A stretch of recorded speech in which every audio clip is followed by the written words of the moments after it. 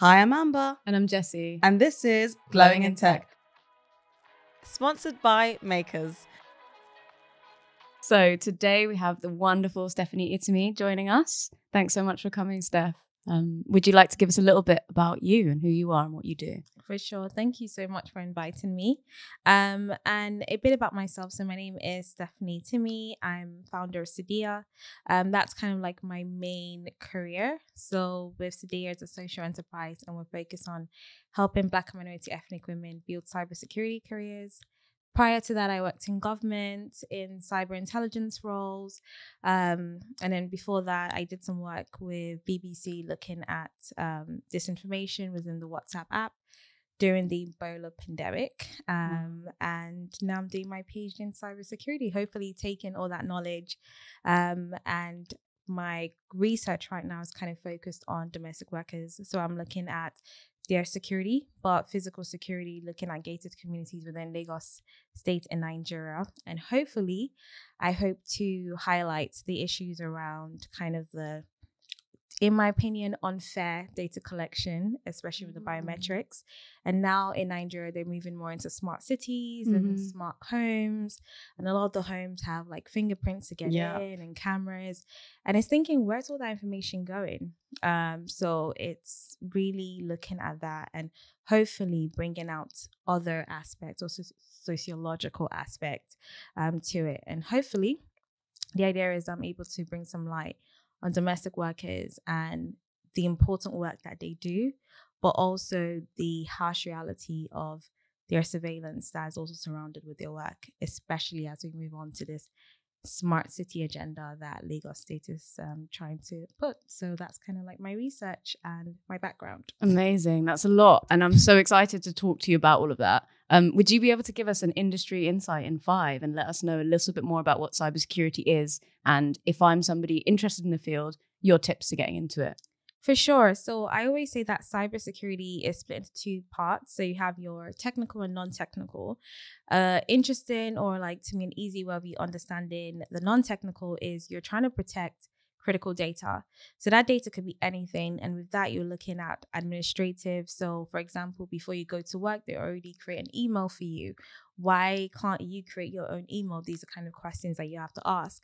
It's because it has to be separate to ensure the integrity of the data. Mm. Um, and with kind of information security, it also has to do with physical security as well. So, for example, if I have an important laptop in this place, for example, I'm going to make sure the doors are locked and things like that. So that's when you have like physical security. And then there's technical security, and that's going more into cyber. Mm-hmm. So cybersecurity and information security are two different things.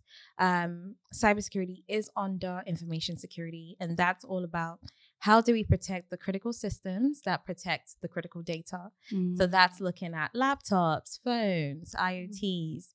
Um, and cybersecurity is a fascinating field. I think the best way to view it is there's about nine domains, and it's understanding how the domains work, the different business functions that exist within cybersecurity. So if you're looking at physical, that's going to be, you know, people don't think they are part of cyber, it's like, oh, this is just a different entity. But it's heavily linked because before you get to your workplace, there's like a barrier, and then you have a staff card who produces those staff cards, you know? Um, and with the barriers as well, it's ensuring that the authorized people can get into the building. And then, like, with business continuity, which is like a different aspect, is if there's an attack, yes, there's an incident response team, which kind of takes um, stock of what took place, what was the cyber attack, what can they learn from it, and how can they improve it. But also, you have your business continuity, which is ensuring that the business still functions even though there's an attack. So it's very complex and it's a large field. And I think a lot of people tend to think that it's just um, hackers or ethical hacking, but it's yeah, not. Yeah. Um, it's super interesting because even when you go to security awareness or you're, you know, you're trying to kind of stop internal risk or external risk. Um, so I think cybersecurity is all about protecting information or protecting systems that hold that information.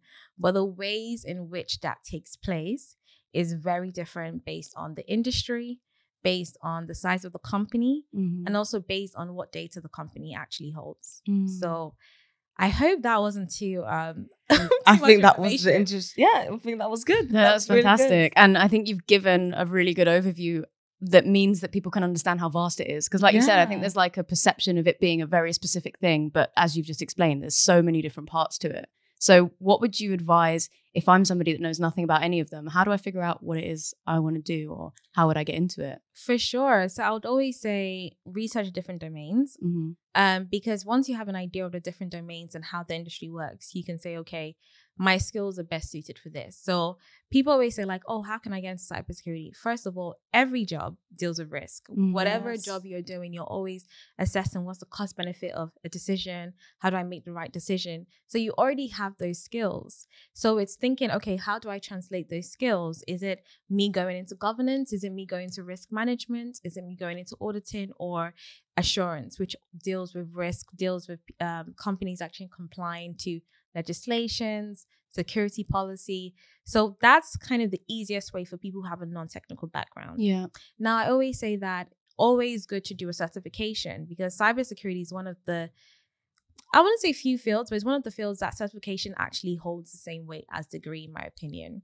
So having a the right certification really goes a long way because people want to know that you you understand the logic, you understand the scope, you understand the acronyms because there's lots of acronyms within cybersecurity, unfortunately. So the entry level certifications, if you're a complete beginner, you don't want to kind of start from medium level, complete.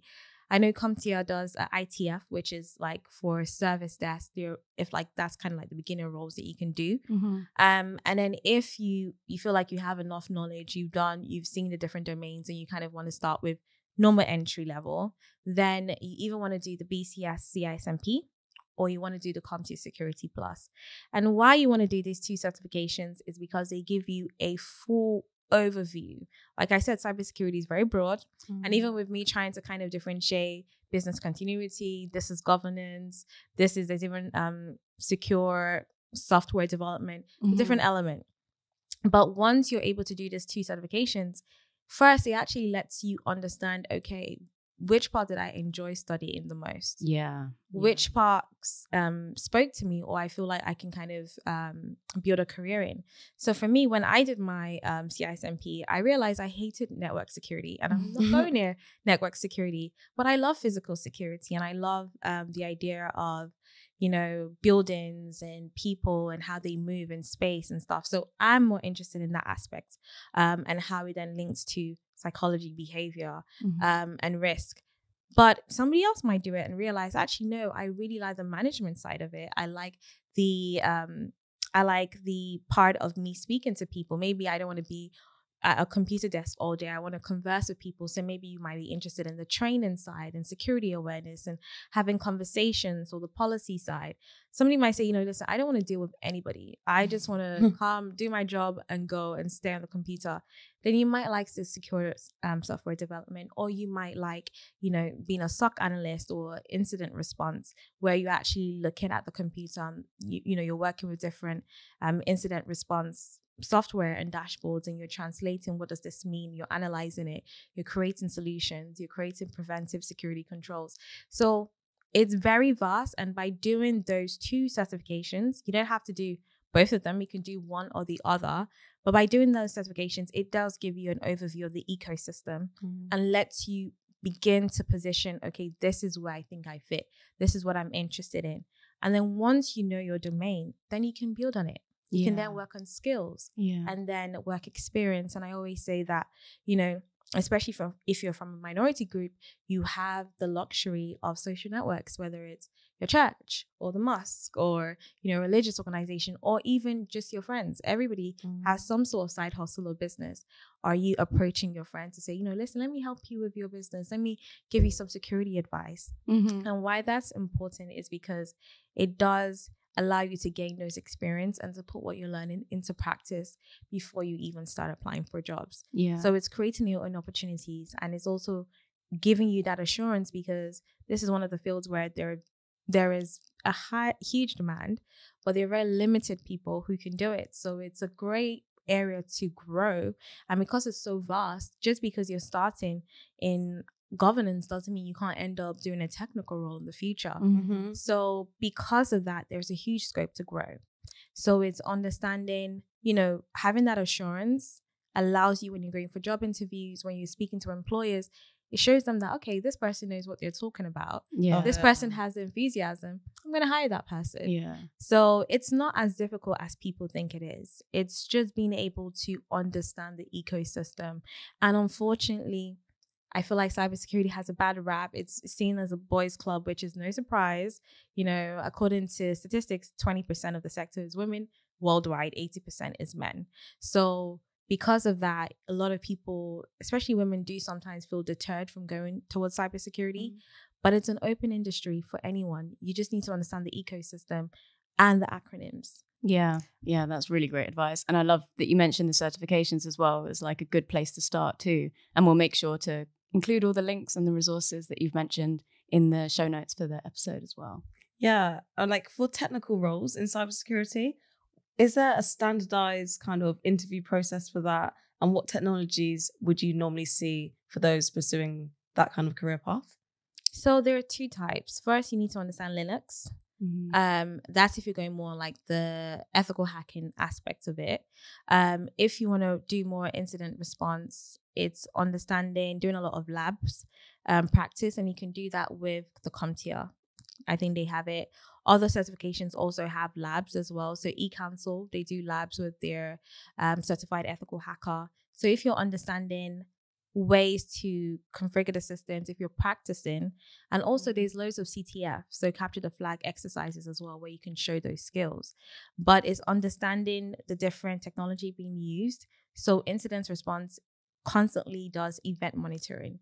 It scans the system, whether it's the network of the laptop, the network itself, maybe it's wireless network, remote network, um, mobile. It scans it continuously to produce reports on these are the current threat levels. Well, that's if you're working for an advanced organization. If it's a small business, it's going to be a different topic. Mm. But if you're working for like a medium sized or a large organization, you'd be working with these softwares where you are trying to, on a daily basis, um, first, actually, first of all, there's different roles between the Security Operations Center, which is the main technical part of um, cybersecurity. So if you're wanting to go into the technical side, you will probably be working as a SOC analyst.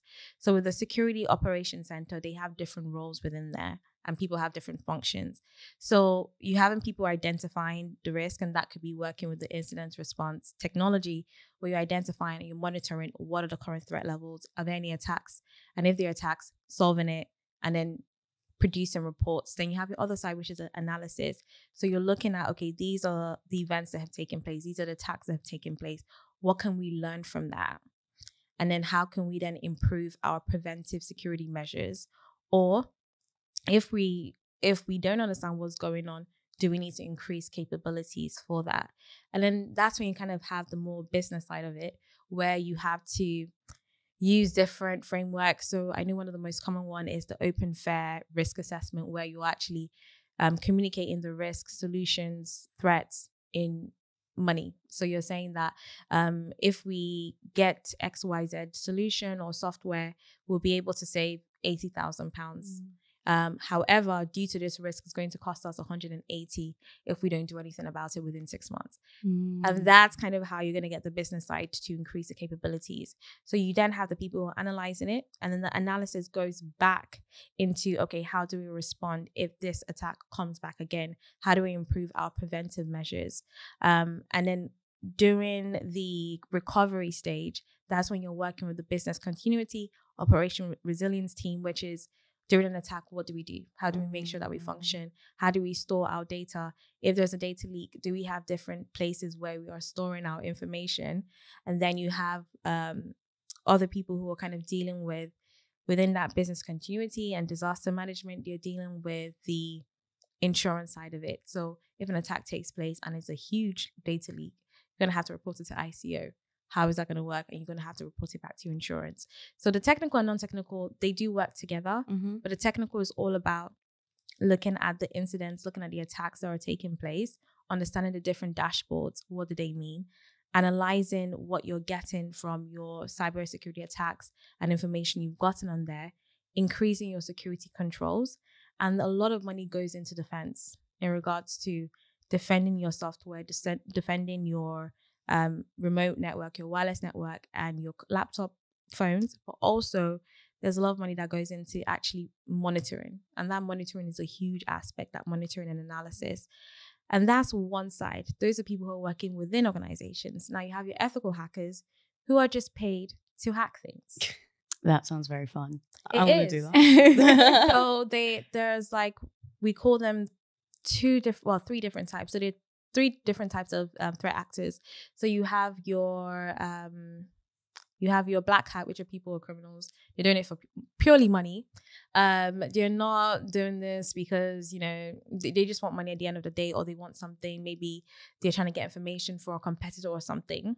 Then you have your gray hackers. So sometimes you see that somebody would report a vulnerability to a company and they get paid. Mm. that's a gray hack because they're not the company's not asking them to do it but because they've done it on their own accord and the company's like okay we recognize it and we thank you. Here's some money for your time or can you come in and like tell us a bit more about the vulnerability and we'll pay you for cons- consulting then they become a gray hat. Then you have your white hat which is people I'm describing where they just employ someone to come whether it's a social engineer or ethical hacker ethical hacker is going to be more on the systems whether it's through phishing attacks or just actually just hacking the system in general and from their report, they're highlighting these are the vulnerabilities that you need to patch up as a company. And then they give that report. And then their incident response team or their security operations center will take that information to then improve their preventive security measures or preventive security controls. Now, with um, the other side of like social engineering, it's I think it's more fun because it's more psychological. It could be from trying to get into the building to more like trying to extract information for someone. So Mm. it looks at all the security, looks at the physical security, the administrative security, um, and internal risks. So those I would say like are the two roles of people who work outside organizations, but their role is to try and figure out how to basically hack the organization Mm. and then let the organization know that these vulnerability exist and these are the things that you guys will need to do. And the fun thing about cybersecurity is you're, there's always going to be new attacks.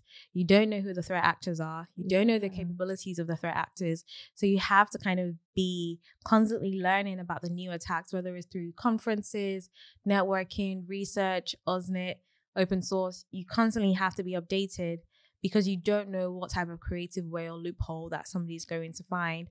And then outside of that, you have to kind of also do those capability and training within yourself. So when I used to work in government, we used to do a lot of um, intelligence training on the thinking in the mind of an attacker. If somebody was going to attack or if someone's going to do something, how do we, what would that person do? And then we we then put our minds in the mind of the um, hacker or the threat actor, and then we start saying, okay, I'm going to do this X, Y, and Z. Then we walk back Mm. based on what I think they're going to do. Going back, where are the loopholes, and how do we as an organization then tackle those loopholes? So it's it's it's a really tough job. Um, I'm not gonna lie, and I think the more technical side, which are the people doing um, the event monitoring, because that's a 24 hours job. Oh wow. So those tend to be more shift work. So like 12 hours, and then they might take a day, then another 12 hours. like site reliability engineers and kind of like DevOpsy side when you're on call. Yeah, that's that looks intense. so that I would say that that's the most intense side of it. Yeah. So it's it's it's understanding. Um, technical side, I say it's it's fun. You know, there there's also like security software development, which is more of like the Yeah. DevSecOps. The ops. Yeah, I was gonna say the wasps. We love OWASP, don't we, we, Amber? we love it. so that's the Open Web Application Security Project, isn't it? Yep. Um, and that's all about kind of being able to develop securely. And I think something that a lot of developers, or I wasn't aware of it when I was learning to code, just like the fundamentals in in um, building a secure web application and how complicated that is. And as well, like you mentioned, it like because the threat landscape is changing so quickly all the time, you're constantly having to update yourself and kind of stay stay um, yeah like one step ahead of of the attackers. So do you have any advice or like resources or things that you think are important that you'd want to pass on to people who are not necessarily in cybersecurity but have the responsibility of building technology which is used by people who are trusting them with our data their data So I would say like there are different school of thoughts. I know Mhm. are some people that don't trust users and trust computers, so they tend to Mm. lean more on software. Um, you you'll be surprised. There are some people who believe that the users are or people are the weakest link. yes, yeah. And because of that, how they approach it is they are more reliant on softwares than people. Mhm. And um, there are some other people, which I think is more of the school that I lean on to, which is for security to work, everybody has to be involved. Security is everybody's job. It's not Mhm. just the security team's job. Everybody has to be on board the security, which is why security culture and awareness is so important. And it's not just throwing and saying, you know, this is our policy, you have to follow it. But are you doing brainstorming sessions? Are you getting your team to actually um, say what you're thinking or share your thoughts on your security policy and your security framework? And by doing that, you let people buy into your security vision, but it also allows people to be security aware because unfortunately a lot of internal risk still happens which is why you know people will be surprised at why are we still getting weird emails it's because people still fall for them you Yeah. know? Yes. Yeah. so and because of that somebody may just not know not everybody is so security aware you know Mhm. your average person doesn't really care about security they just care about convenience and do do their job and they go home Mhm. but I think by getting everybody within the company to be involved in security, that's literally, in my opinion, the best way to improve your security. Now, when it comes to you thinking about your threats, actors, and landscape, you can't predict anything. And if you're going to get in, is to be commercially aware. You know, there are different magazines. There's information security magazines. There's cybersecurity ventures that you can look at. Um, you know, look at ICO reports on like, you know, what are like the recent data leaks that are happening. Keep your yourself, you know, what are the different methods? What are the different tactics? You know, the Mm. TTPS. What are those? You know, what techniques are you seeing? What tactics are you seeing? Um, and keeping your head on the ground and Mhm. having conversations with people. I think one of the great thing about cybersecurity, even though it's it's like a close knit community, but everybody's sharing because everybody understands the burden of working in the industry. So Yeah. every time there's a new attack, everybody's sharing. Somebody's doing a, a Twitter thread. Yeah, there's always a Twitter thread. So, so you know, keep your eye on the ground, have conversations, network, um, and know that you're not alone. I mean, to me, I feel like the people I feel not sorry for, but the people who I admire because of the responsibility are CISOs. Mm. Yeah. Because the responsibility of security, you're trying your best, but you can't account for everybody. And if somebody makes one mistake, unfortunately, you get um, the blame for So, it. what is a CISO and what are their responsibilities? So a CISO is a chief information security officer, or you have your chief security officer. Mm-hmm. either of those ones and they are they have the executive responsibility for the security of the company Mm. um, which means that they have to basically understand the security architecture of the company and ensures that security is stable security takes place they have to work with all the different teams that i've talked about within security and make sure that it works but unfortunately like i said because security is for everybody but not everybody feels like security is for them and Mm. unfortunately people feel like security is um it feels like a parent is how I describe it. you yeah, know, like a barrier to what Yeah. you're do, right? that you can't do this, you can't do that. Mhm. But at the same time, security is needed because without security, everything's going to fall. So unfortunately, if somebody does make mistakes, sometimes it does um CISOs or CSOs do get the rap for that, unfortunately. Mhm. within the industry. So I would say that security is for everybody and everybody, even if you don't want it to get into cybersecurity, having an information about security is going to be so important, especially with where we're going with Mm. AI, with machine learning, with Mhm. things more being in, on the internet with cloud. Mm. Uh, I haven't even gone to third party risk Oh, because that's that's like that's another that's another kettle of worms. So security is everybody's job, is what I'll say. Yeah, I'd love to know your thoughts on whether the risk has im- um, increased since the pandemic. I was listening to a podcast. I think you recommended me to listen to it, um, and they were saying about how they'll call remote workers and say, "We're getting you a new laptop," because they like kind of know that people are sick of their old laptops. Mhm. And we're getting you that's get um to give me your name, address, the software that you're using, and they're able to get out so much information from them. So would you say that um the risk has now increased because of remote working, or do you think that now there's more awareness of um social engineering and phishing scams that has kind of balanced out? I th- I think it's gonna get worse before it gets better. Um, not to be a pessimist, but I think it's because understanding the econ- economic levels that we're in, living standards are going down. Mm. People are losing their jobs in tech. yeah. You know, which gives you know doors for people who may not consider going down the other route to go down the other route.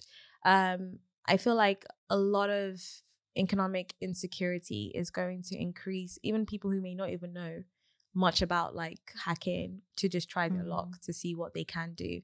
So I do think that things are going to get worse, but I do think the knowledge level is slowly getting better. I think people are starting to recognize security and the value of it. I think a lot more. I think COVID definitely helped with the security and with a lot of our infrastructures getting hacked. I think a lot of companies understand the importance of security now. But in regards to will it get better, I think there's definitely going to be more threat actors. Mm. But I think that slowly we're building the knowledge base to be a general thing and not just in the hands of a few. Yeah, because it feels like they're using more sophisticated like ways of phishing. So I feel like one of our colleagues put up on LinkedIn that she got a text message saying like, "Oh, like, mum, my phone has been like fell somewhere. This is my friend's number. You need to go on this website and do something." And so like your initial response is, "Oh, like my child is." I don't have time to think about if this is a phishing thing. Like I'm just gonna go on the website or like send this person these details um, because they've sparked an emotion in, in people. For sure. And I think that's what I love about cybersecurity is psychology. I mean, if you like, if you like, if you like criminal dramas, I don't. Um, then you would love you love cybersecurity. It's all about psychology. It's all about thinking how do people act, how do people behave, how to get somebody in a panic state yeah. that you're not thinking clearly, yeah. and thinking about trusted sources. Um, okay, who do you trust? Okay, how do I make myself somebody that you trust? It's all about trust. yeah. If you look at the whole thing with social engineering, it's all about trust. Um, and I do think, like I said, as things are getting worse, you're going to see more. We've seen with the HMRC. Wait, what happened with HMRC? Oh, with people pretending to be HMRC for. Oh yeah, yeah, yeah. And then like other other ones. Even recently, I've seen Royal Mail. I've seen. Yeah. So you know, you just see different different types of like versions and dip, dip you know. I just don't trust anyone. Um, just me because I'm in cybersecurity. You see a lot of things, but I almost got hacked on Christmas. Well, the day before Christmas. No, what happened? On my WhatsApp, Ooh. literally, 2022. 2022. Wow. Oh, okay. But you know what? Thank God that I practice what I preach. Yeah. If Wait, I what didn't- happened? so what happened was um, I got a call from someone. Um, so one of my mentors, she's Nigerian. I'm Nigerian. Um, and I know that she has this group called Ladder Back Down, where a lot of us professionals help other people who are interested in coming into the industry. Um, and I know that she does a lot of work in Nigeria. So this person calls me, and I I, I know they had a Nigerian accent, but they're like, oh, um, um, this person's um PA. I'm just calling you because we're having a meeting today at 8 p.m. I just want to know if you're going to be at the meeting. I'm like, this is 24th of December. As much as I would love to support, please tell her that I won't be able to make the meeting. Mm. So that's fine. I'm just going to send you a link um, for the Zoom link, um, from the Zoom link. Um, and if you can click that, I'll just put your name on the list so that I know, like, for the next one, you know, you get an email. Mhm. So as he's talking to me, something, um, mind you, he called me at 6:40 a.m. So I just woke up. Yeah. so you're in a I'm I'm already state. like half Yeah. awake, half asleep. I'm talking to this person. Yeah. So I was like, but something was like, something about this is a little fishy. Why would he still need my distance if I said I can't make the meeting? Mind you, as we're talking, he said, no, he said you're gonna get a code. He said, Can you please tell me what the code is? It's just so and I and I opened my eyes, I was like, wait a minute, something's not right. I looked at the code, I quickly cut off the phone. Did you know this guy locked me off from my phone number? Because he was trying to change it to a business number. Huh? Oh. But luckily, because I had a two factor authentication, Yeah. So he was trying to get he wasn't your, able to to to go in yeah. because I had my pass, I had my email, I had my passcode, and then fingerprint. yeah. So because of my passcode, he couldn't get in. Mhm. Now imagine if I did not have two-factor authentication. Okay, wait. let me go on my WhatsApp. You have to do it on what's you have to get two factor authentication Authentication. on your WhatsApp. Yeah. Do you have that? Yeah. Yeah, I do too. But the, the- even with that, like it was was it last year that Uber had the attack where somebody just kind of brute force kept sending the two factor authentication requests, and the person got fatigue from receiving it so many times and just gave it to them in the end. Like it's just like even with multi factor authentication, you can you can have that kind of like Effect. yeah yeah I even someone recently, um, I was in a group and she was saying that she keeps getting an email bombarded. Is is there a way to stop it because she keeps getting loads of emails? And I said, best thing you need to do is speak to your administrate administrator security person and tell them to Mm. change your email to something that's more complicated. And then you need to go to a website called Have I Been Pwned yes to Yes. see how far your email has been compromised. yeah So you can actually at least use that as a case study to say that your email needs to be changed. hmm And then when she changed it, it became a little bit better. She no longer had those emails. But it's it's crazy how creative. And mind you, in 2019, I think there was a vulnerability that was found on WhatsApp that you could hack someone via audio. yes yeah So This is too much. so you know, the attacks and the creativity, like I said, is getting more and more. Yeah, knows no bounds. Especially with, like you were saying, with the developments in AI and machine learning, we now have vishing, and people are able to generate audio and video of people that we do trust, and it, to a level of sophistication that it can convince you that that is the person you're speaking to. So, um, yeah, no, scary threat landscape, definitely evolving. But that's all the more reason that we will need to be a little bit more interested in it, right? in cybersecurity as a concept. So you've built a successful business getting marginalized women into cybersecurity and encouraging them to get into the career, but also to, to level up in that career. So why do you think it's more important? Why do you think it's important for women of color and marginalized people to be more involved in cybersecurity? I think it's because we're the most vulnerable online. Um, and in my previous, in my last role, um, within civil service, um, I was working in modern slavery, human trafficking, and online child sexual exploitation. Mhm. Um, and seeing some of the stuff you see on the dark web and having conversations. Um, I was having conversations that I was like, okay, I don't need to be in this conversation. Somebody from this community needs to be in this conversation. I can't speak for the Filipino community. I can't Yeah. speak for the Chinese community. yeah. And I can't even speak for Eastern European community. Mhm. Um, there are going to be other nuances that I'm going to miss and understanding how vulnerable we are online. Um, and not even from the element of, you know, simple hacking, but people being trafficked. Mhm. Um, it's it scares me, and is all the reason why I wanted to make this a global organization, but organization for minority women Mhm. because we're the most vulnerable. Um, and hoping that it's not just teaching us to get into the industry, but it's also teaching us skills and tips to be safe online. And hopefully that we can also share it to our children or our community Mm. um, and pass it on because it's, you know, threat actors are always going to prey on those who are vulnerable and those who Mhm. they feel like society may not listen to in certain circumstances. Mhm. So because of that, they're going to go for marginalized women or people from marginalized groups. So if people are equipped with the knowledge and they can see certain things, then they can protect themselves and then they can advocate for themselves. Like I said, there's different communities that need to be in conversation, especially at governmental level, um, which is what I'm hoping for one day.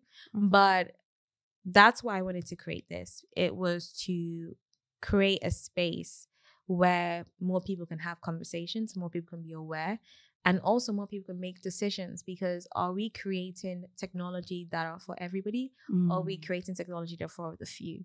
Mhm. and i think it's it's not it's, it's latter so because of that we do need people to be in conversations especially as we're going through this technological frontier and my passion is not even for women in minority groups but also women over 35 you know as we're going through Yeah. this technological boom ai is coming to take some jobs Yeah. i don't want anyone to be left behind Yeah. um, and you know which communities are going to suffer the marginalized communities Mhm. so that's another element of of why I'm passionate about um, bringing more women in and just bringing more pe- people from minority groups into the industry.